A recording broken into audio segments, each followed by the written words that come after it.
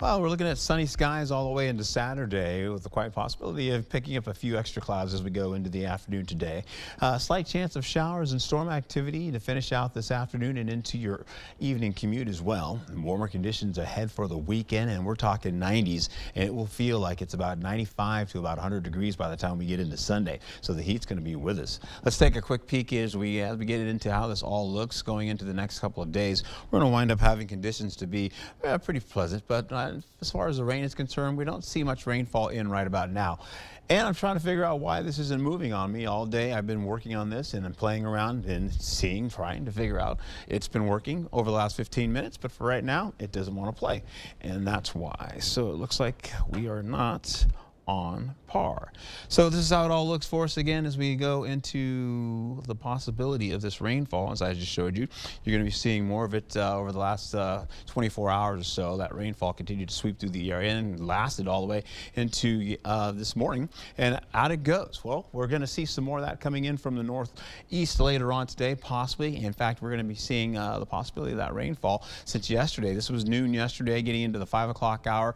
Then we go from 5 o'clock to the, at least the 10 o'clock hour. And then from there, things dried out all the way into the early morning hours. Well, this is the radar right now. This is how it all looks for us. We get into how it all plays out. Uh, you're going to be seeing conditions like this. Take a look. We go into the 2 o'clock hour, and you're going to see a little bit of rainfall beginning to come out of the northeast. And with that, you're going to be picking that up slowly but surely, working in from Black River Falls, heading into La Crosse, as well as portions of Sparta, and then trying to track down to the south. This will continue to the 6 o'clock hour into dinner time, and this is for your evening commute. So it doesn't look like Eau Claire is picking up a lot of that rainfall. You may see some of that up there by Ladysmith and kind of moving, uh, trying to move down to the south as well. But slowly but surely as we get in the 11 o'clock hour, we still have a few showers still on the ground. Not going to expect a lot of rainfall out of this, maybe a hundredth of an inch uh, to, uh, to a tenth of an inch in some cases.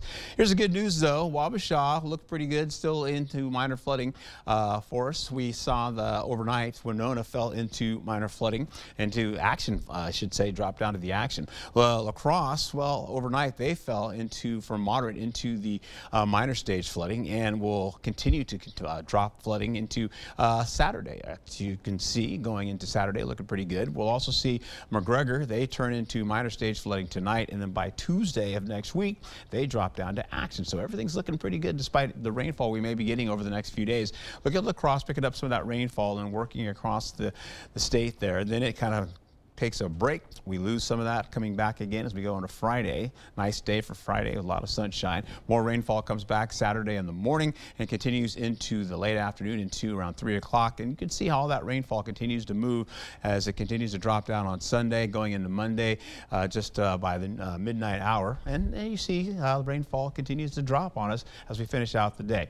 Not looking at a lot of rainfall, maybe up to about half an inch or so. Take a look. Feels like tracker right now. Feels like as we get in the 4 o'clock hour, it'll feel like it's about 86 degrees out there. And then we finish out for today, 86 degrees expected, and then we get into tomorrow, 88 degrees expected. Local temperatures looking pretty good out there, Alexander. Where we're going to see 86 today, 88 tomorrow, and then the rainfall potential comes in as we go into humid conditions for the weekend. As I told you, it's going to be hot, 93 degrees. It'll feel a lot hotter in just a bit. All right, heating up. Thank you, Art. Mm -hmm.